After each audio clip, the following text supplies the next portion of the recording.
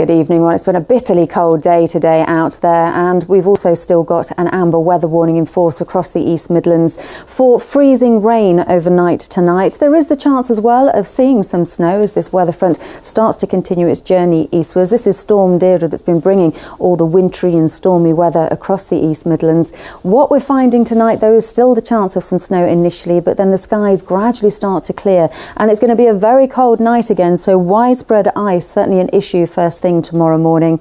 The weather is starting to change though through Sunday. It's going to be just a little bit milder tomorrow. Any showers that come in from the west will fall as rain as temperatures reach highs of 7 Celsius.